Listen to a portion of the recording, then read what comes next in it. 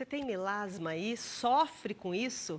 Diz que quem tem fala que é chatinho o tratamento, é demorado. Se você não tem, provavelmente você conhece alguém que tenha. Às vezes você nem sabe que é melasma, mas alguém que tem aquelas manchas mais escuras na pele, principalmente no rosto, aquela pessoa que vai para a praia e a mancha aparece mais, sabe? Elas também podem aparecer no colo, no pescoço, até nos antebraços. E é mais frequente nas mulheres entre 20 e 50 anos do que nos homens. Apenas, apenas 10% dos homens são afetados por esse pro problema. Hoje, a doutora Isabela Bidóia, que é biomédica esteta, vai falar pra gente quais os tratamentos para amenizar essas manchas. Doutora Isa, bom dia, seja bem-vinda. Tem gente que já está ansioso em casa querendo saber desse tratamento. Fica à vontade. Ó, pega o microfone aqui. Ô Isa, melasma é o que eu falei, né? Se a gente não tem, a gente conhece alguém que tenha. Uhum, sim. Né? Porque chama atenção, né? É uma mancha escura no rosto, geralmente, e que uhum. chama muita atenção, né? É, o melasma é uma mancha que desenvolve principalmente pela exposição solar, uhum. né? E a falta de proteção. Então, assim, os pacientes, mulheres em geral, né, já tem uma tendência, igual você falou, uhum. a ter mais manchas. Mas isso, em relação, por exemplo, à mulher, também está muito relacionado a fatores hormonais. Olha só. Então, gravidez, por exemplo, é comum também aparecer, comum, né? Muito. Na realidade, a maioria, eu falo assim que 50%, 60% das mulheres que têm melasma desenvolveu pós-gestação por Olha conta só. dos fatores hormonais.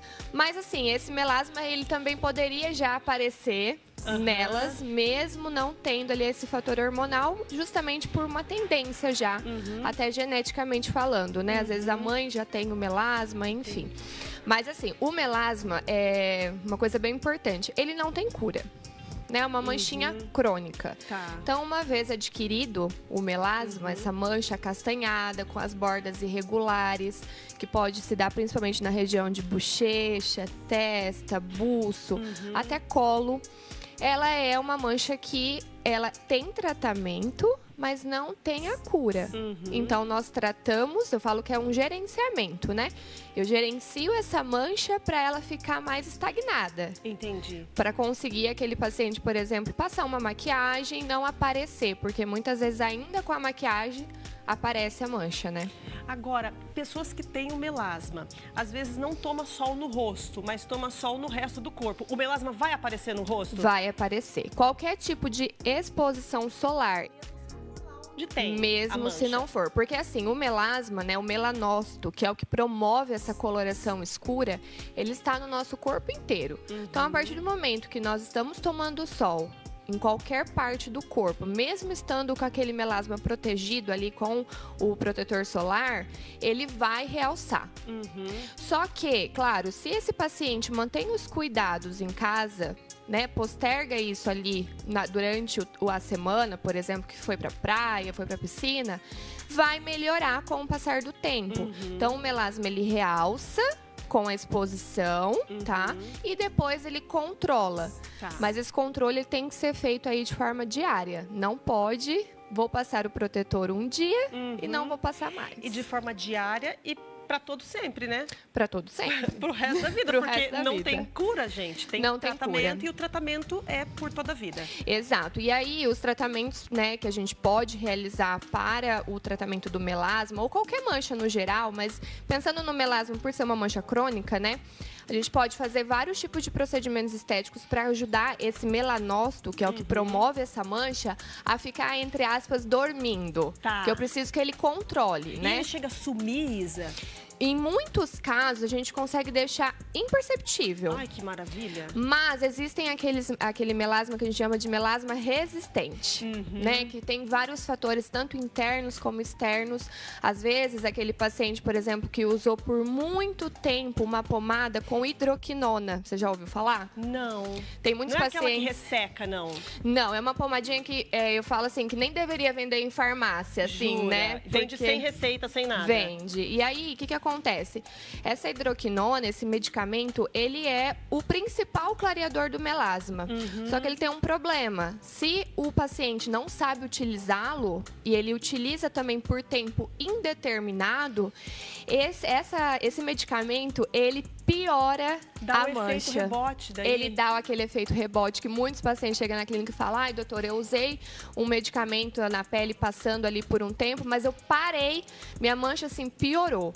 E aí fica mais difícil. Fica mais resistente Ela por fica conta resistente. de ter usado esse medicamento. Exato. Olha e só. assim, é, os tratamentos eles são é, importantes porque só passar né, um produtinho em casa para clarear você atinge só a parte superficial do melasma. Uhum. E o melasma ele pode estar mais profundo. Tá. Então, há o tratamento em clínica, fazendo os procedimentos como, por exemplo, peelings químicos, uhum. microagulhamento para infundir ativos ali, vai conseguir atingir esse melasma que está lá profundo na derme. Entendi. Que só passar não resolve. E entendeu? cada paciente é um tratamento, um protocolo de, de tratamentos diferentes, Isa? Isso. Como é que é? Aí, assim, a gente tem, é, eu falo que é sessões, né? Uhum. Cada tipo de mancha específica, se ela tá mais escura ou se ela tá mais clara, eu vou conseguir identificar o melhor procedimento. Uhum. Mas, em geral, é, são tratamentos que eu preciso infundir ativos clareadores e que controle a mancha. Tá.